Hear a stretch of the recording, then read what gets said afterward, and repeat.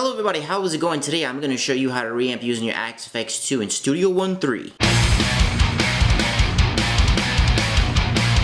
Alright guys, so today I'm going to show you how to reamp using Studio One 3 in your Axe-Fx 2.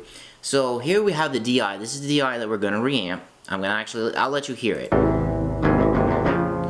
This is what we're going to reamp. So you're not going to actually be able to hear the physical reamping going on. You're going to be able to see it, but the way everything works, I'm not going to be able to actually let you hear it in real time. You'll, I'll let you hear it after the fact. So the very first thing you need to do before you do anything else is see this little button right here?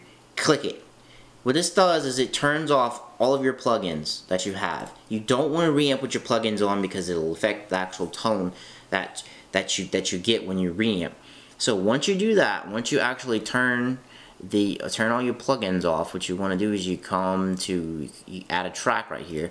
Make sure it is a stereo track. You want one of them. I'm going to call it reamp wet. And what I mean by wet, this is the track that's going to have the actual audio information on it. The track that's not going to be that's not a DI. And what you want to do is you want to set that track to record and you take off the monitoring. So what it's going to do is you're going to feed that, the what you're going to tell the Axe-Fx to do is use this is the data and put the wet signal here. Now the way I have it set up is I have my Axe-Fx um, running through my uh, Focusrite interface so I can actually hear while the reamping is going on through my monitors. So what you want to do after you actually have this all set up go to your Axe-Fx, hit your I.O. button, hit the page and go to the right, and when you go to the input, you want to set the input to USB only. What this does is it's going to, all the stuff from, the information from your Axe is going to come through on USB. Then once you do that, come to settings, audio interface options, and you're going to set it to FAS USB audio.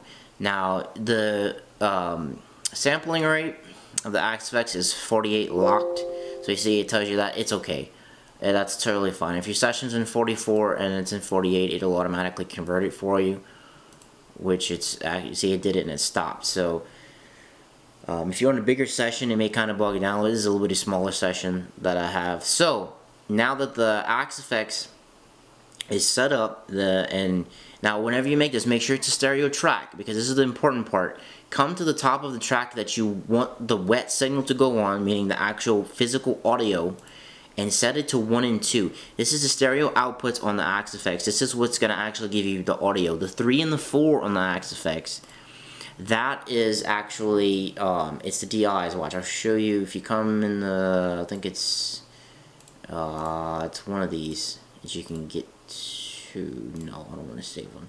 Control panel, is this it? No. Song setup? No. Here it is, audio IO, this is what I wanted to get to. Look, see the one on the two right here? That's the actual physical one, and the it's just set on three, but the three and the four right here, that is your DI. So you can record DIs with the Axe-Fx if you want. So once you have Studio One 3 set to the Axe-Fx 2. I'm trying to make this where it's confusing. This is when the actual reamping process can begin. So what you do is you solo the DI. You always want to solo what you want to record. The information that you want to put through the Axe, you solo that. Because if you don't, it'll start screeching. Watch. It's not, it's not doing it, but it'll screech if you have a lot of tracks. So you turn off all your plugins. That's very important. You set it to the stereo, and what you do is you hit record.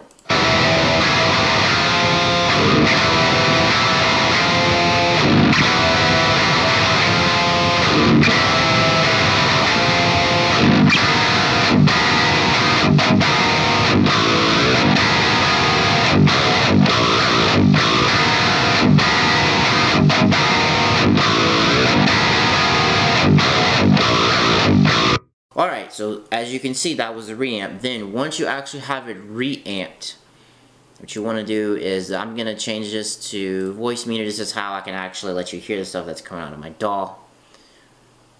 Get it changed real quick, if it ever decides to change itself. Okay, there we go. So, now that we've done that, mute the DI because you don't want to hear the DI, and this is what we just actually reamped. Oh wait, before I do that, turn the plugins back on. Whoop.